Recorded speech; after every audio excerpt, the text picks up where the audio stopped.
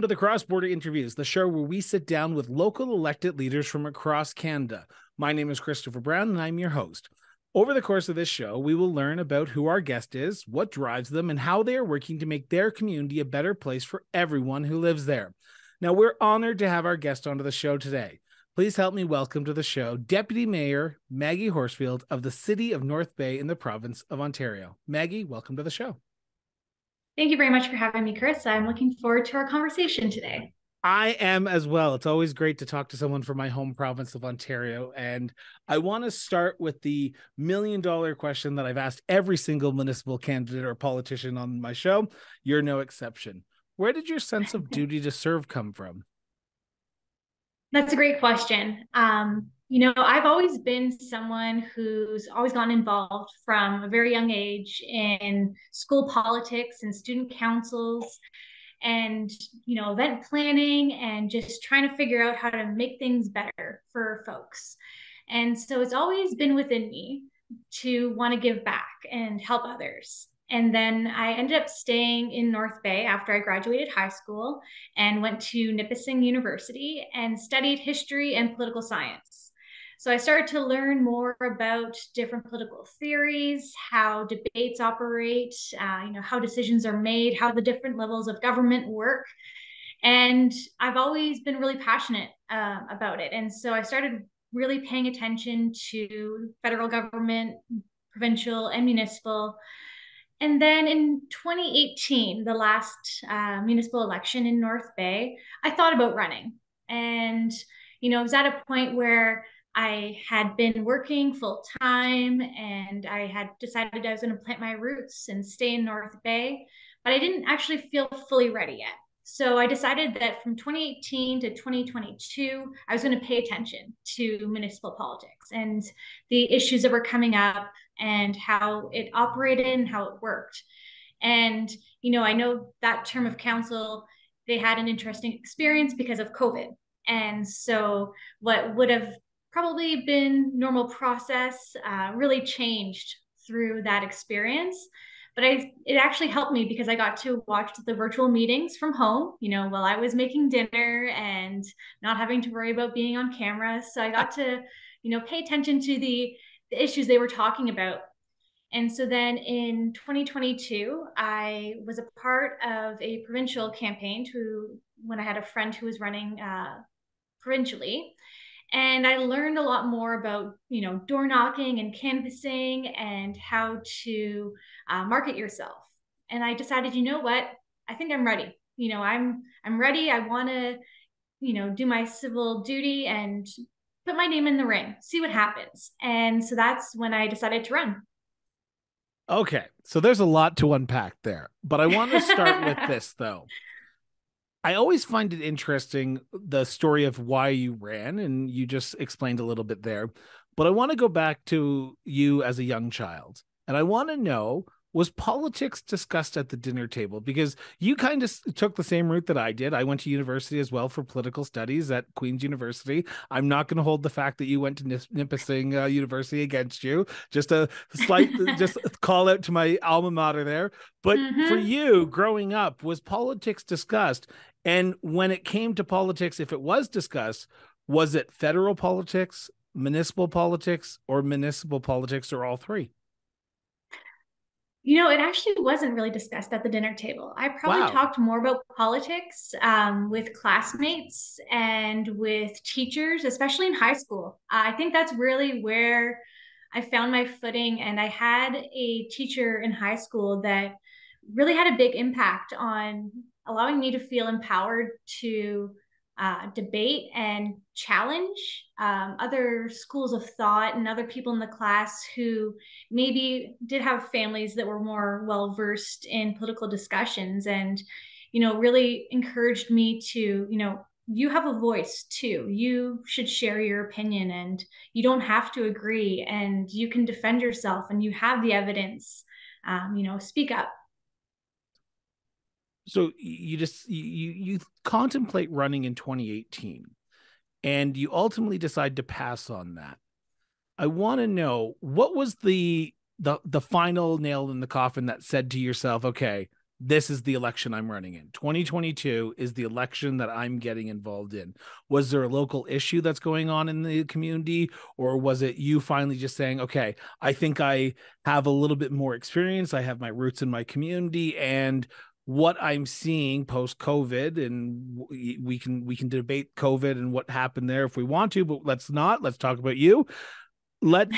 what was the final nail that finally said, okay, 2018 I wasn't ready, but 2022 I'm ready. Let's do this. Let's pull the trigger. What was that moment for you? Yeah, no, great question. I think it was a couple of factors. When I looked at who was on city council and you know who I felt represented me, there was really one person of the 10 of counselors that we have. Uh, there's also a mayor.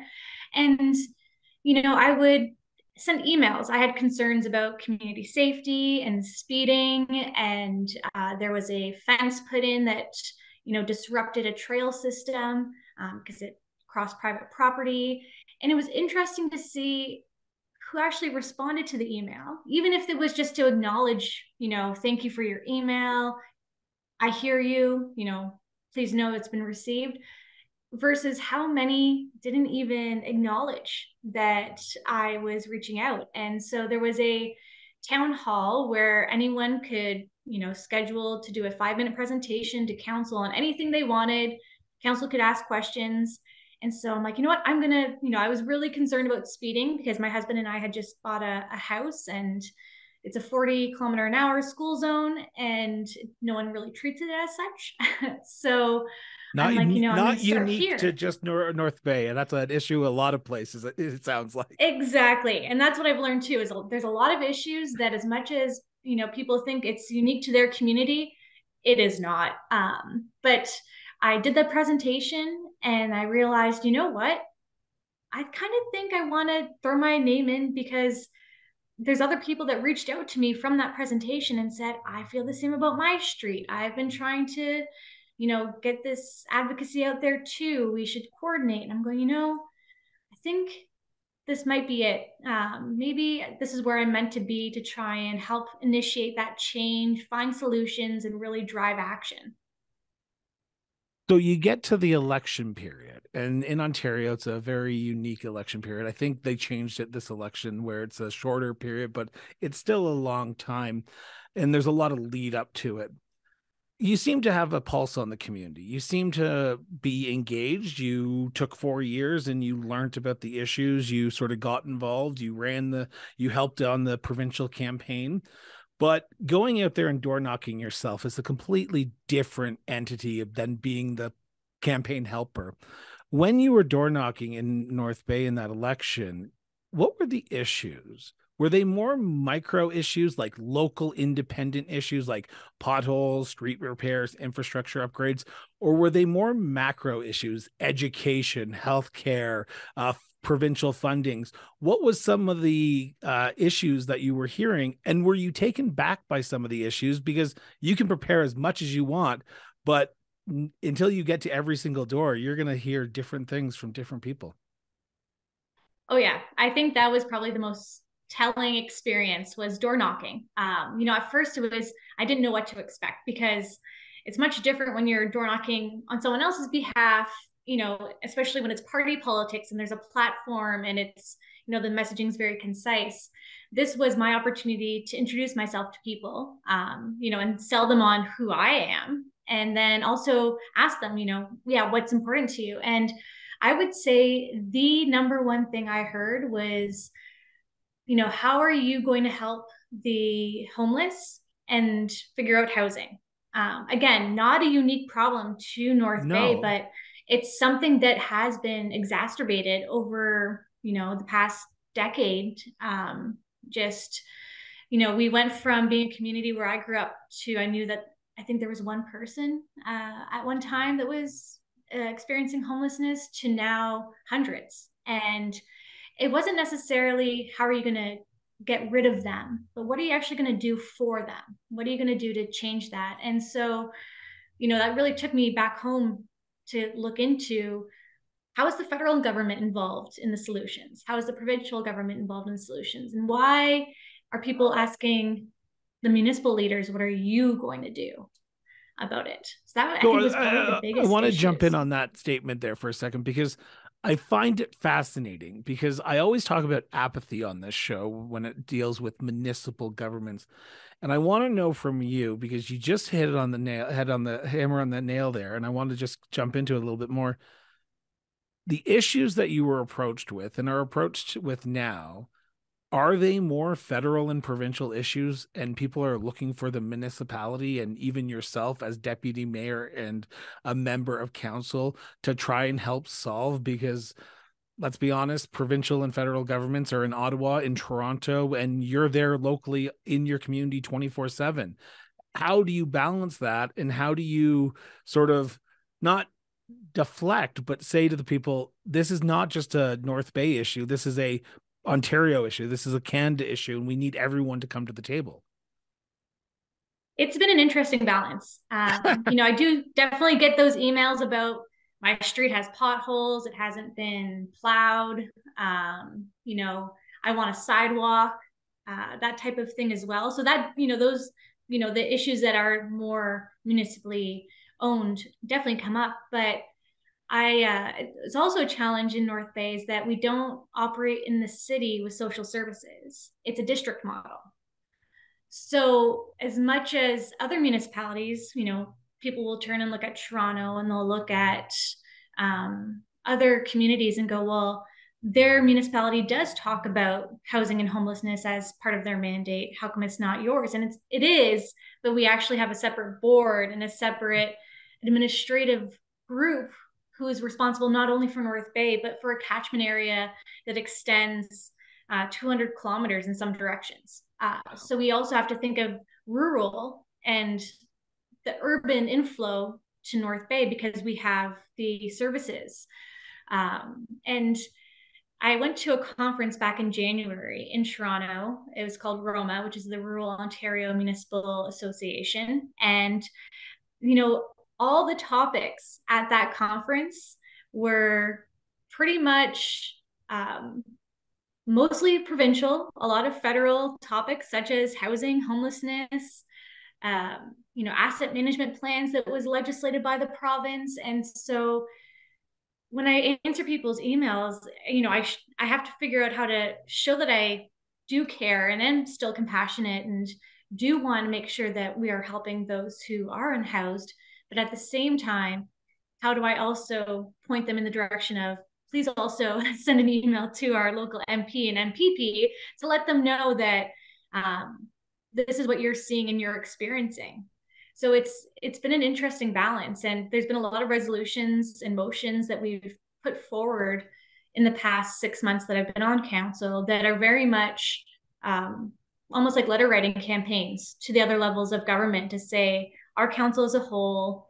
This is what we're seeing in our community. Um, this is what we want to change. This is where we see your levels of government coming in playing their role in solving these challenges too. I'm gonna uh, just play a little devil's advocate with you here for a yes. second. So you you're writing these letters to your provincial and your federal counterparts. Um, are you being heard? Are you tracking who's actually responding to you like you did in 2021 when you were preparing to potentially run for 2022 and saying who's actually paying attention, who's responding to me, and who's actually taking this issue seriously? Yeah, no, and I think luckily in North Bay, we have a great relationship with both our MP and MPP. Our uh, MP is actually the House Speaker for uh, the House Commons in Ottawa. Anthony Rota. Um, so, Yes. So he's got a good pulse on North Bay. And um, then our MPP is Vic Fedeli. And he used to be the mayor of North yeah. Bay for, I believe it was two terms back early in the 2000s. And so, you know, they do come home at the end of the day or on the weekends, and North Bay is or in the surrounding areas where they are so they they see it and they hear it too and i do think we actually had some a really great funding announcement from the province a couple of weeks ago where they uh, i believe it was close to five million dollars to help us with our um, transitional low barrier shelter and housing and maintaining that operating dollars because otherwise it was going to be falling on the tax levy on the district to cover the costs. And they recognize through our delegations and through our communications and you know they do acknowledge that they're hearing us loud and clear and doing what they can to help with that pot of money that everyone and every community is trying to get their hands into. I want to go back to you for a second because we're going to be talking about North Bay in a few seconds here, but I want to go back to mm. you. You you you've been on both sides of that council table. You've been presenting to council and now you're a per- people you're a person who has presentations delivered to you from public. Uh, you're relatively new into your term. Is it what you expected? Is it is the job what you expected? And what is the biggest learning experience that you've had on the job so far? Because you're not alone. In bc manitoba mm-hmm. ontario new brunswick a lot of new counselors. So what did you what was the biggest learning curve for you? It's yeah i feel like the past six months has been just a learning experience and also trial by fire because you know it it doesn't start now. It's been it started back in november but uh, with our council, we actually had six of the 10 new. Oh, wow. Never been on council before. And the mayor, um, this is his first term as mayor. He had previously been on council. So he luckily had um, some, you know, experience with the council, but there was a majority of us that were new. So the the city staff and the other counselors that had been on uh, council for a number of terms before, really did help kind of slow things down a little bit and take that extra time. We had a lot of education sessions to walk through, you know, what is the official plan, what are tax rates, um, you know, all those details. Whereas, you know, a council that might be majority, you know, serving on their next term could probably kind of jump in a bit quicker. Um, and I think the biggest learning curve is uh, you know, my day job, I work at the university and I assist with the board of governors. So I have a understanding of governance um, for public institution in the public realm. But even municipal government being, you know, it's different. It's its own beast. And you know, reading the Municipal Act, being very familiar with what is the jurisdiction and what are the roles of council and what are the roles of staff and, you know, where is crossing the line. Um, you know, you can't go out and tell the public works workers how and where to um, fix the potholes because that's what you want to see. You know, you can let them know that you've seen it, but at the end of the day, there's staff and council sets the direction. Um, yeah, so it's been, you know, learning where we fit in as a council and as counselors, where we can have the biggest impact, and then how we can, you know, give that direction, set the policy, set the plans to have the staff execute it now I, I, told you that uh, I usually don't tell people the like the topics or the questions I'm going to ask, but we had talked about this in our pre-interview. You run for council expecting to be a counselor, but you run for council and you get the most votes, and ultimately yeah. you become deputy mayor. Um, this is like a, uh, like a win-win for anyone who's running for council but for you when you decided to run were you even considering like getting the top votes and potentially becoming deputy mayor? Because explain how that works in the city of north uh, of north bay. Yeah. No it it was it was interesting. You know i knew that I really wanted to be on council. And so I knew how many votes in the past people typically would get to make it in the top 10 because we don't have a ward system. It's based on um, the top 10 people getting the highest amount of votes, and that's your council. And so, you know, I engaged during my campaign a lot of social media and attending events and that door knocking and really tried to go from all the different angles some, with some radio ads with all the different audiences. And so, you know, I went into election night with a good feeling, but also was being very humble. And, you know, it's my first time running. Um, Horsfield is actually my married name, and I had just changed it a year ahead of time. So, you know, North Bay is said to be a city that really goes on your name and name recognition. So I wasn't sure if I was, if I had shot myself in the foot by not running with my maiden name. So I, you know, I kind of put in those factors of, you know, still be, you know, don't be too certain you're making it on, but let's see what happens. And then on election night, seeing my name as the polls come in climb to the top, it was kind of a, you know, a shock and the reality set in. Um, but then I saw the other names that uh, I guess came behind me, um, as well as the mayor. And I thought, you know what? I feel it's not just me. Uh, I'm going to be supported. I'm going to be there for them as well. We're a team. Uh, we can make this happen. But the first month, I think, after the election, whenever someone called me Deputy Mayor Horsfield or asked me about it, I would kind of giggle um, and just be like, oh gosh, that, that's me, right? Did you okay. know? Did yes. you know on election night that you'd be named deputy mayor? Like, I'm assuming you've read policies and all that, but was that something that you went, oh God, I've just been elected, and oh no, I've just been elected deputy mayor of the city as yeah. well? Yeah, it was kind of like, okay, yeah, I knew this, I knew it would be a big shift to be on council, but this is a bit more. But you know what? Let's do it. Um, and so, yeah, you know, immediately having the uh, media surround me and say, So, you're deputy mayor. How do you feel? What are your plans? What are you going to do? It's like, well, first, let me just absorb it. It's going to take a little while still, but you know, it's like, let's do it kind of thing. You know, I'm not one to shy away from a challenge. And so, as much as it was kind of like, whoa, all right, this is, this is, this is what it is. I was also very excited to be like, you know what? That's that's actually really cool too. Like that many people um, felt comfortable enough to put a, a mark beside my name. Like if they, if this many people feel that I can do it, I can do it. That's awesome. I want to yeah. ask one last question before we turn to the next segment, and it's about the responsibility of your job. You have to go into that council meeting and make decisions that are going to impact people the most, and they are going to impact their budget, their properties, their garbage pickup, their water bills, you name it, it's going to impact them. Even if it's a small policy, whether it be service fees increasing through uh, at your local field uh, uh, house or your arena, they impact the most, particularly at the municipal level. How much weight do you put on yourself to be prepared every time you walk into that council chambers but not be cemented in how you're going to vote because you're open to hearing from delegations like you were one and from fellow counselors who may have different opinions who you might think to yourself say hmm that's an interesting way to think of it. I didn't think of it that way and now i'm going to change my vote. How much weight and responsibility do you put on yourself going into that um, those meetings every time?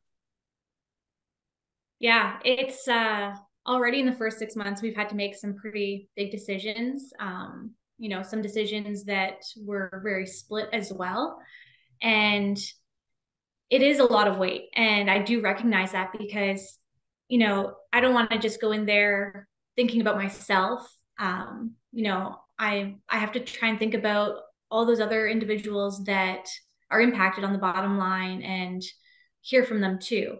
So, what I've been trying to do is when we get the council agenda, reaching out to my networks and saying, here's what's on the agenda, here's my email, you know, or send me a direct message and let's chat. You know, if you're if you're concerned about this, I want to hear it. Um, and so even from the people that support it too, I want to hear why because it can be on there, but if we're just getting a recommendation from staff, I also want to hear from those at the end of the day that it's going to impact.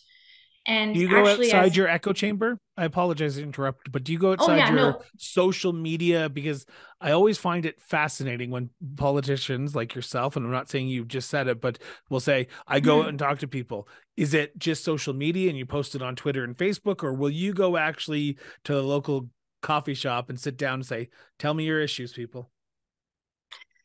Yeah, no, for sure. And I I recognize that those echo chambers exist and you know, even though if you have that core group of people that you like to run things by, that they also probably think like me um, or see the world the way I do. So it's important to also think about the people that see it differently. Um, so I do try and reach out to those individuals.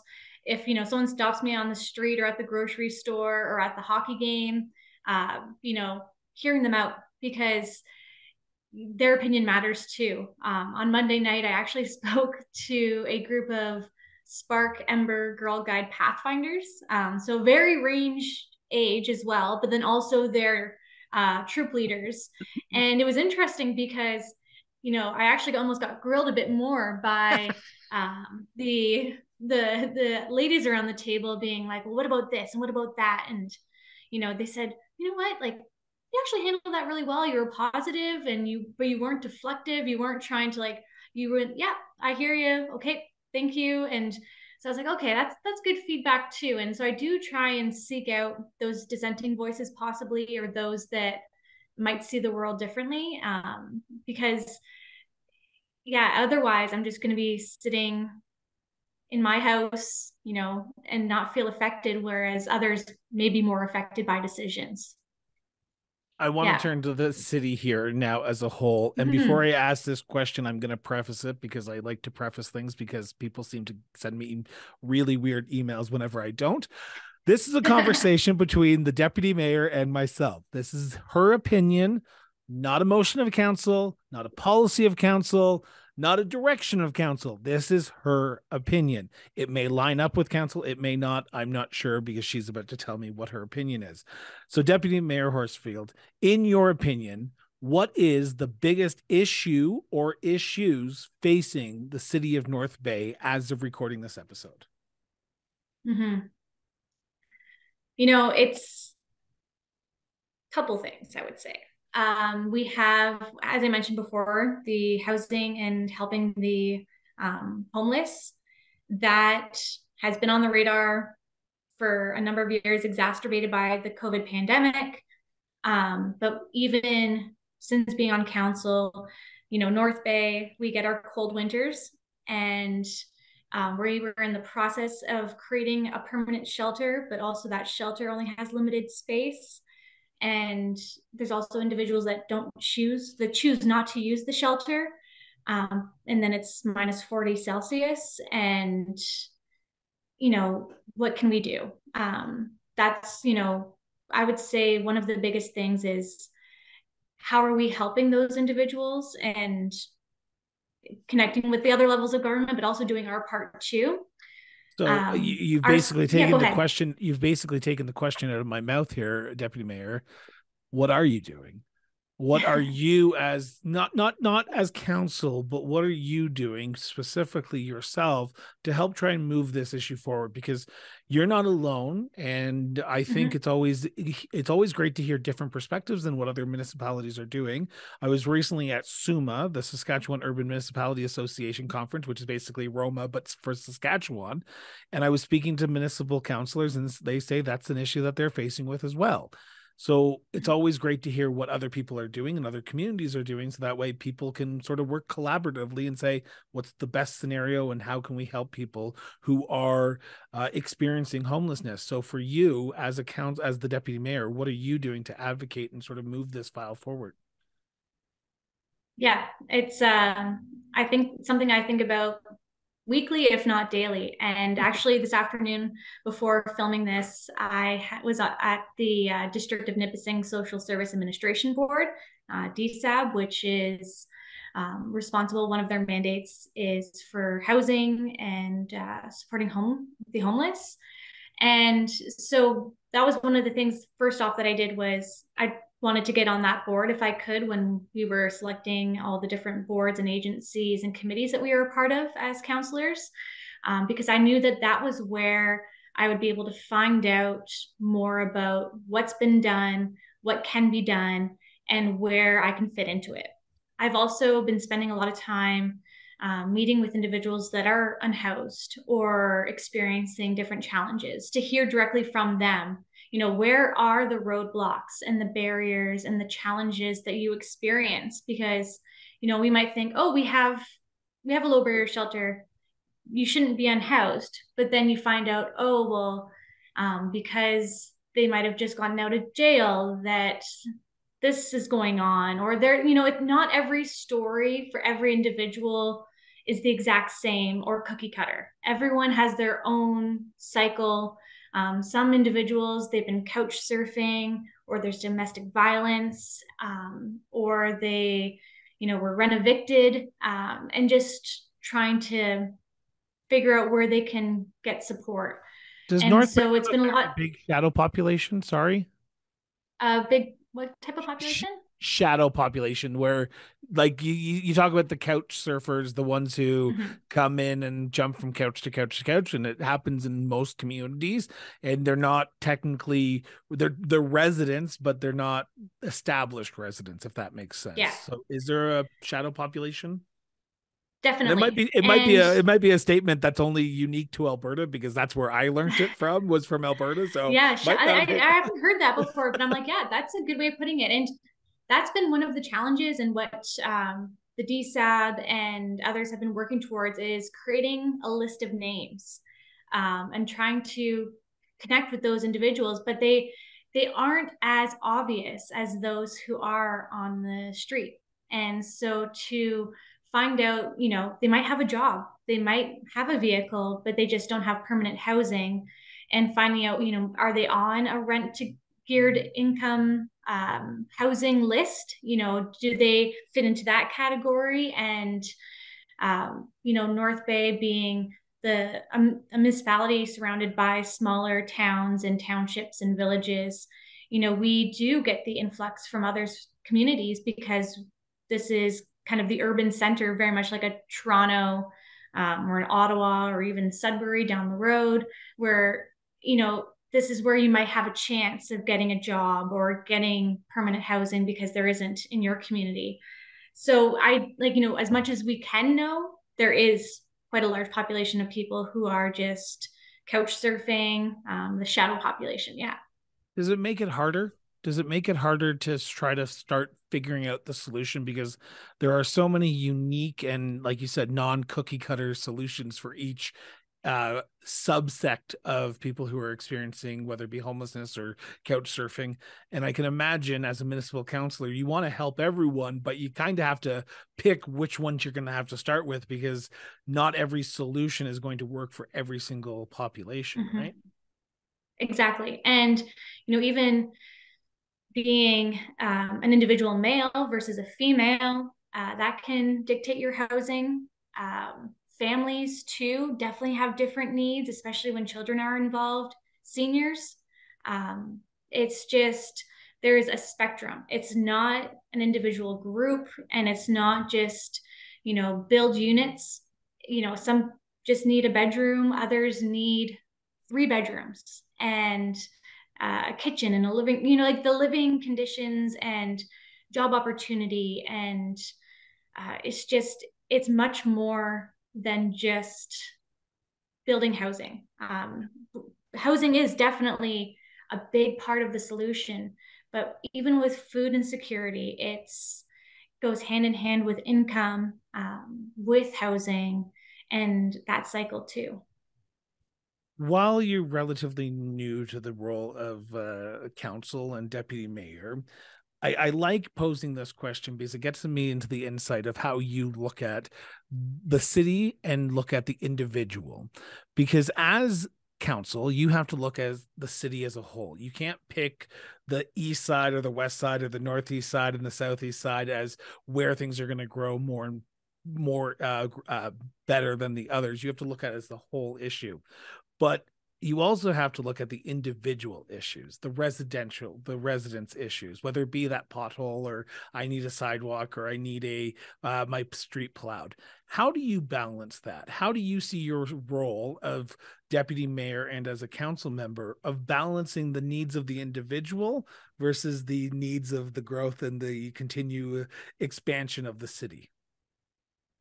Yeah, um, a challenge. I guess you know, in one word, it, it's a challenge. Uh, luckily, I've actually lived in the majority of neighborhoods in North Bay, um, so I have a sense. Being, you know, having lived here for so long, I I got a sense of the different areas of town, and you know how close the park is. You know, when it you're. I currently live just outside the downtown core, um, in North Bay, being you know an older railroad city where I live, there's lots of sidewalks, but then I also know some, there's a lot of new subdivisions that have no sidewalks. Um, but then at the same time, when you add sidewalks, you need to do sidewalk repair and you need to plow the sidewalks. And as you build out, um, the urban sprawl costs more money. And I think that's one area where I see North Bay even just trying to go in a different direction to try and build up, which we haven't always really done before. So instead of trying to build into new neighborhoods, um, there is room for that and there is need for that. But also looking at the housing needs, if we want to keep our young people here, if we want to help seniors and other individuals, you know, downgrade the size of their home and the housing spectrum. Not everyone needs a three bedroom, three bathroom house. They might just be looking for uh, an apartment or a condo. And so we, as a council, have uh, a growth community improvement plan that was brought forward by a previous council. Uh, and it's really something that we're focusing on is how can we create more urban densification and instead of continuing to put the burden on adding more and more assets because if we can uh, be more dense then we can focus on those neighborhoods that are looking and have more uh, niche concerns or want that extra sidewalk because we're not adding more sidewalks to newer subdivisions but taking care of what we already have. Um, so it's kind of a balance of you know, growing the city, uh, which I know a lot of municipalities municipalities are also trying to do, creating housing, uh, using the assets we already have, and then supporting the people that are here so that they can get those um, niche or requests for their neighborhood um, that they might see in another neighborhood.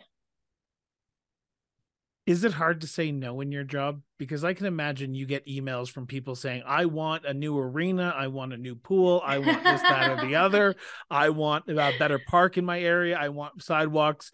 And at the end of the day you know and i know that municipalities can't run deficits. You cannot run a deficit as much as you think you uh, people think they can. You can't. So you yeah. have to sort of say no we can't look at it this year because we have other projects going on but come to, to us next year or the year after and we'd love to sit down and chat with you. But right now it's just not fiscally possible to help in that scenario where you're looking at potentially wanting a park or a sidewalk or a, a pool and i and I, I said that and you laughed i'm assuming you've probably heard that a few times then you know it's really actually quite funny because um as deputy mayor i'm also budget chief as i'm chair of general government and so not only was I thrown into being deputy mayor, but I also was, you know, the chief lead on getting all the council on board with um, the budget. And this year, we really got to see, you know, the impact even of how chemical costs have gone up. And we need to have a water treatment center and we need the same amount of chemicals, but it's costing more um, but at the same time, it'd be really great. We have, we could probably, it'd be lovely to build more parks and more trails and more sidewalks. But then there's the priorities of just even operating the city as it currently is. And then when you mentioned the arena, um, you know, if you want to do a quick Google search on North Bay Arena, that is um, such a, a big thing right now. Our arenas in North Bay are very old. Um, there's some that are wood framed, and you know we're basically counting down the days to see when that arena is going to collapse on itself. Um, but at the same time, we need to build a new one, and the folks in town are have a lot of opinion. There's people that understand and agree with the current design and where the plan is going. And then there's also a large number of people that disagree. Um, and so that's been an interesting navigation, especially for the first six months um, of a quite new council is, you know, the needs of our community, the needs of uh, individuals, and the cost of things and where we're putting those dollars. Um, because, yeah, we have, you know, our city does have reserves, we built them up, but you can spend them quite quickly um, if you say yes to everything. And so there's that balance of, okay, is this a need today? Where does this fit in our 10, 10 year capital plan? Is there government grants and government funding that we could tap into if we have a proposal ready to go? Um, and just finding ways to find that balance that's that's the challenge Um, I appreciate you taking time and answering that question. I want to turn to segment three, and this is the final segment because I just realized we're at 40 minutes and I did not realize it was been 40 minutes already. This is the great thing about the show. Time yeah. flies when you're having fun. I I like talking about tourism because I'm a hmm. tourist. Mm. And this summer, uh, my husband and I are driving from Calgary back to my hometown of Newcastle, Ontario, and we're going to be stopping in North Bay. We're going to make a oh. special trip to stop in North Bay yes. and see some of these tourist destinations you're about to explain to me and my listeners and my oh, viewers. Good. So, Deputy Mayor Maggie, what are the hidden gems of the tourist industry that people need to see if they're in North Bay? Well, for one, you're going to let me know when you're in North Bay so I can take you out to some of these places, please. Yes. Um, but North Bay, you know, we're this balance of outdoors, our waterfront is absolutely stunning. It actually used to be all railroad um, because we were a railroad community and they built it right along the shores of Lake Nipissing. And so when that changed, um, we actually, as a community, took it back. And since 1996, there's been a group of community volunteers that maintain the gardens. And so they're just absolutely spectacular. The waterfront is stunning. Um, you know, it kind of when people are considering moving to North Bay, we try and get them to come up in the summer uh, and take them down there. There's carousels and a mini train. Uh, the old CPR building is the North Bay Museum, and it has, you know, rotating um, exhibits. And then also in the summertime, there's the Dionne Quints Museum, which, if you're familiar with the Dionne Quints story, uh, kind of put North Bay and our area on the map. Uh, so that's always a really neat place to check out because it's the original homestead where they were born. Um, oh, and it's been wow. relocated into North Bay. Yeah. So the house is still there, and that is inter- an interesting attraction. Our main street is also really cool because it's very much um, kept its original look and feel. And there's a lot of um, individually owned businesses down there, uh, really neat businesses that are fun to check out. There's an antique store that was a shoe store that's been there since 1947, I believe, or even earlier. Maybe no, it's way earlier, but it's been owned by the same individual since 1947, and sometimes he's there. So if you want to know the history of North Bay, you go when Ralph is uh, in the shop too, and that's always fun. My husband, whenever we go downtown, he's like, "We have to go to Deegan's. We have to go to Deegan's Antiques," and it's like you just go into this room and then it goes into another room then you go upstairs into another room and then to another room and there's you know you're gonna go home with your bags full of very you're making me miss souvenirs. ontario right now. You are so making me miss ontario right now because i loved antiquing as uh, with my family as a younger uh, kid that i oh, oh, oh. well there you go. We'll, we'll put it on your stop. Um, it, it, and then also north bay has a lot of trails uh, and not you know not mountainous trails. We do have some that are hilly because we're on an escarpment as well but right in the middle of the city is the laurier woods conservation area and so part of when the industrial area of north bay expanded there was an area that was created to offset the wetlands because we are also a little bit swampy in some spots um, right in between because we're between two watersheds and two lakes. North Bay kind of falls in there. But Laurier Woods, you can see all the wildlife. It's uh, you know one of my favorite places to go for a walk um, or a hike and just to to see that and it's also community run they put in boardwalks and info areas on the different species that you see there um, so there's just it's a really neat balance of enjoying the outdoors, being close to two lakes. We have dozens and dozens of public beaches and public access points.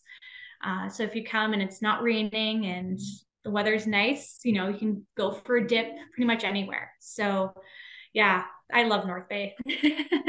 I'm looking forward to it, but I to to get even more local mm-hmm. after a long day with for you after a stressful day at council after a long day at work where in the community do you go to relax is there a local watering hole is there a park that you just go away sit down relax and let just decompress for a few hours before you have to start back up the next day yeah um, nice thing is we've got two local breweries in town uh, new ontario and gateway and gateway is actually on my way home from work Um, so very convenient.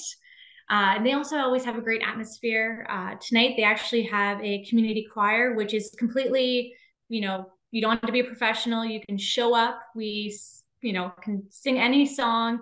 Uh, the one time I went most recently, we did Shania Twain. Um, and they teach you in that moment how to sing the song. And then it's just like a great, a great, uh, great vibes and great uh, place to be.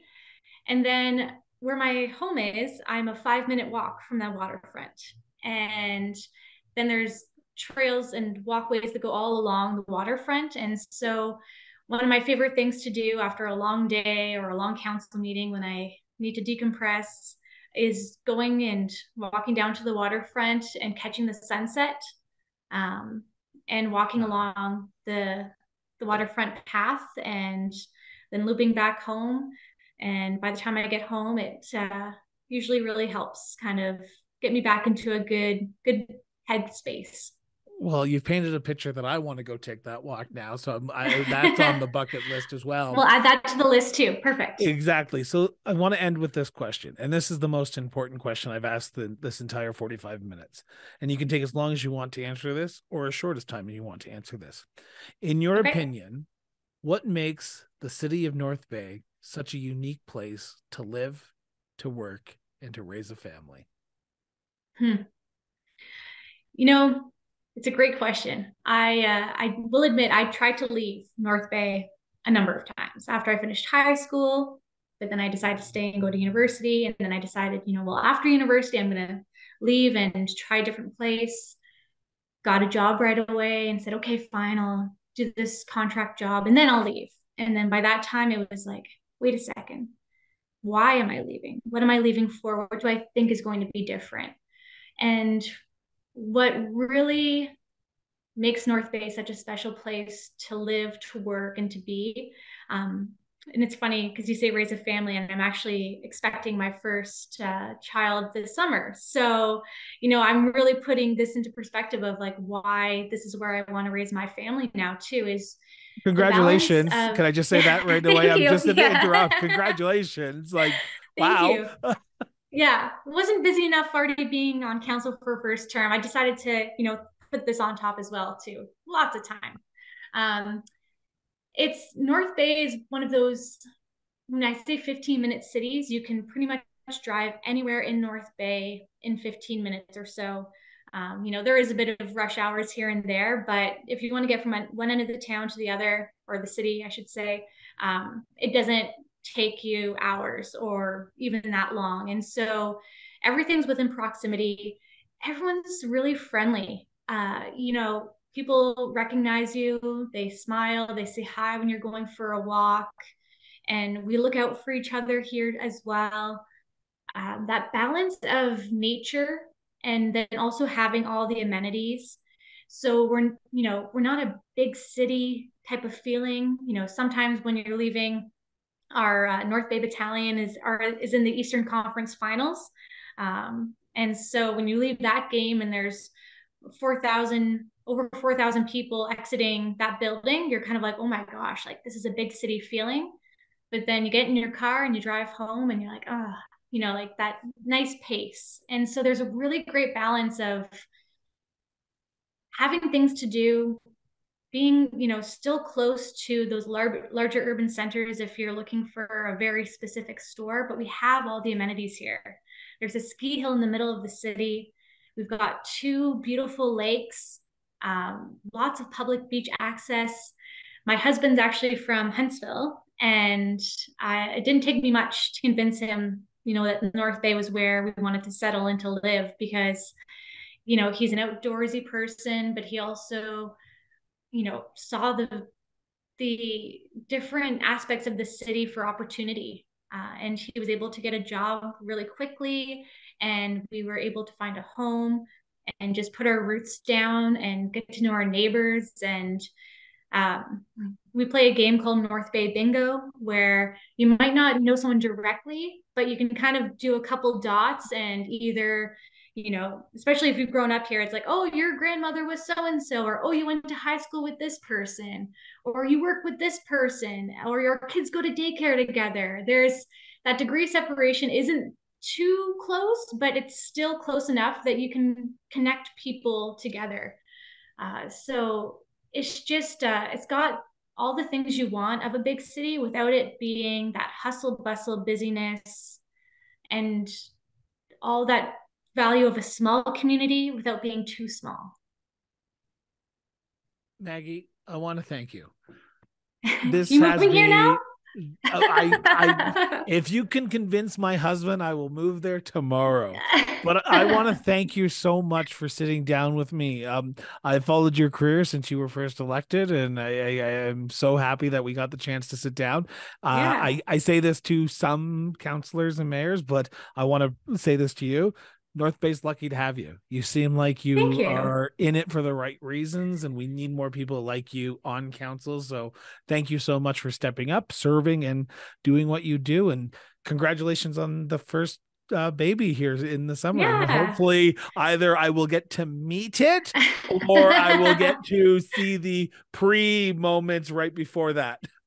And I heard yes, Chris exactly. is a really good name both ways as a male and female, from what my parents have. Oh yes, you know what? We actually there's a counselor on city council, and his name is Chris, and he has also generously uh, shared that his name is available too, and for those exact same reasons, it's a very flexible name. So I will make sure I keep it uh, as an option. Exactly. But no, thank you. You know, I've been following uh, your podcasts and your interviews as well and listening into them and i really appreciate you know the the spotlight you get to put on you know municipal elected leaders who might not be from the big or urban centers and just how our journeys are so similar but then we also have that feedback we can share with each other too so thank you um so with that i want to remind everyone yeah. put down social media go have a conversation with somebody helps our society helps our democracy and God forbid it actually makes us better people. So, with that, this has been the Cross Border Interviews with Chris Brown. Have yourself an excellent day. And remember, everyone, just keep talking.